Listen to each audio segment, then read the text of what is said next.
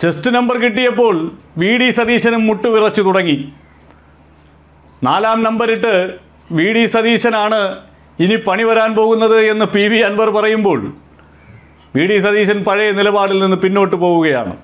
മറുനാടൻ മലയാളി എന്ന ഓൺലൈൻ മാധ്യമത്തെ കണ്ണുമടച്ച് പിന്തുണച്ചിരുന്ന സതീശൻ ഇപ്പോൾ അങ്ങനെയൊന്നുമല്ല തന്റെ നിലപാട് പറയുന്നത്.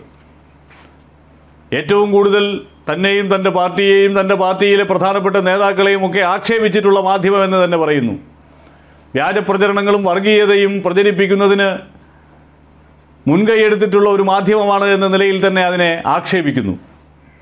മാധ്യമപ്രവർത്തകരെ അവിടെയുള്ള പാവം ജീവനക്കാർ വേട്ടയാടുന്നതിലാണ് തന്റെ സങ്കടമെന്നാണ് സതീശൻ പറയുന്നത്. പക്ഷേ സതീശൻ ഈ മറുനാടൻ മലയാളിക്ക് വേണ്ടി സങ്കടപ്പെട്ടിട്ടുള്ളത് അതിനും എത്രയോ മുമ്പ് റെയ്ഡ് നടക്കുന്നതൊക്കെ ഈ മാസമാണ്. ജൂൺ മാസം പകുതിയോടെ തന്നെ മണനാടൻ മലയാളിക്കെതിരായിട്ടുള്ള നീക്കങ്ങൾ ആരംഭിച്ചതോടെ എറണാകുളത്തെ ജില്ലാ കോടതിയിലും അതിനുശേഷം ഹൈക്കോടതിയിലുമൊക്കെ തിരിച്ചടികൾ നേരിട്ടതോടെ വി ഡി സതീശൻ പല ഘട്ടങ്ങളിലായി ആ മാധ്യമത്തിന് പിന്തുണ പ്രഖ്യാപിച്ച് രംഗത്തെത്തിയിരുന്നു. എന്നിട്ടിപ്പോൾ പറയുന്നു ആ മാധ്യമത്തിന് പിന്തുണയൊന്നും കൊടുത്തിട്ടില്ല. പിന്തുണ കൊടുത്തത് അവിടുത്തെ മാധ്യമ പ്രവർത്തകരുടെ വീടുകൾ റെയ്ഡ് ചെയ്തപ്പോഴാണ് എന്നുള്ളത്. അപ്പോൾ വീണ്ടും പറഞ്ഞു അതിനു മുമ്പ് തന്നെ അതിനുവേണ്ടി വാദിച്ചുകൊണ്ടിരുന്നവരാണ്. ഇപ്പോൾ എന്തുകൊണ്ടാണ്? പി വി അൻവർ ഒരു ചെസ് നമ്പർ ഇട്ടിരിക്കുന്നു.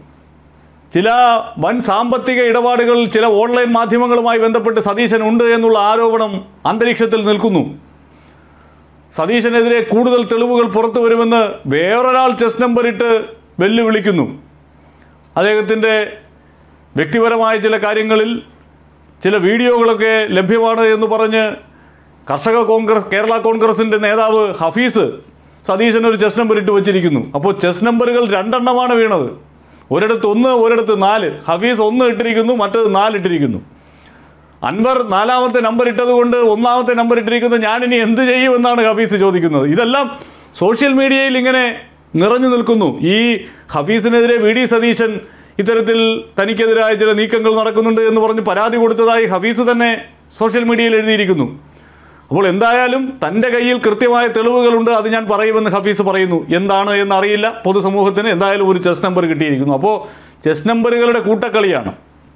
ആ ചെസ്റ്റ് നമ്പറുകൾ വന്നതോടുകൂടി സതീശന് കേരളത്തിന്റെ പൊതുവികാരം എന്താണ് എന്ന് തിരിച്ചറിഞ്ഞുള്ള ഒരു പ്രതികരണം നടത്താൻ സാധിച്ചു എന്നുള്ളത് സന്തോഷമുള്ള കാര്യമാണ്. പ്രത്യേകിച്ച് ലോക്സഭാ തെരഞ്ഞെടുപ്പ് വരുമ്പോൾ ഒരു മതവിഭാഗത്തെ ഒന്നടങ്കം ആക്ഷേപിച്ചുകൊണ്ടിരിക്കുന്ന ഒരു മാധ്യമം.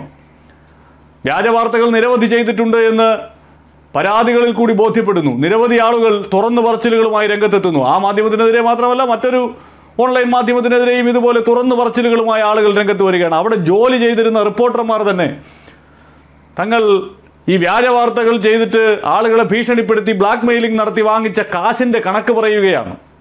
ആ നിലയിലേക്ക് കാര്യങ്ങൾ എത്തുന്നു. അങ്ങനെ ഒരു ecosystem P V Anwar ഉണ്ടാക്കിയെടുത്തു. ആ എക്കോ സിസ്റ്റത്തിനെതിരായി നിന്ന സതീശന് കാര്യങ്ങൾ തിരിച്ചറിഞ്ഞ് തിരുത്തേണ്ടി വരുന്നു. അതുതന്നെയാണ് ഇതിന്റെ ഏറ്റവും വലിയ നേട്ടം.